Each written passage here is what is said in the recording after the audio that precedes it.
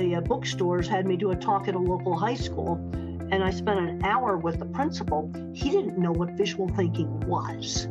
He only kind of understood mathematical thinking and word thinking. And I think one of the reasons why educators are pushing algebra so hard is they think you need to have algebra for logical thinking. Well, that's not how I think. Visual thinking is a different kind of problem solving skill. You just see maybe how a machine works, for example.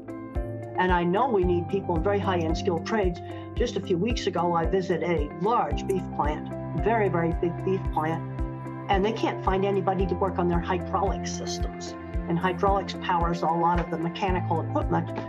And um, he says, well, electricians are hard to get, but the hydraulic people, we really need. Well, I worked with brilliant hydraulic people that um, took one welding class in high school, started out the tiny steel shop, gradually grew their business, and then have a huge shop now that's building beef plants all around the U.S.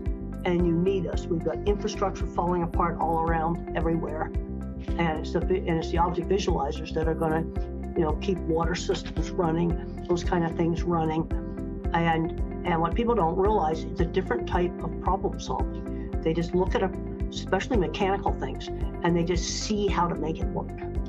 I can relate um, mathematics like pi times the radius squared for sizing air cylinders because I see the air cylinder. Um, algebra, when, when they, way they teach it, is totally abstract. So I don't have any way of storing that kind of memory. My memories are kind of like those pictures you take on the, on the on your phone where it's a still picture and then it moves just a little bit. Those are how my memories are.